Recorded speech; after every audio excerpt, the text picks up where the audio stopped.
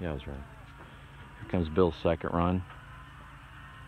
174.1 on the first one. Gonna see if we can better it here.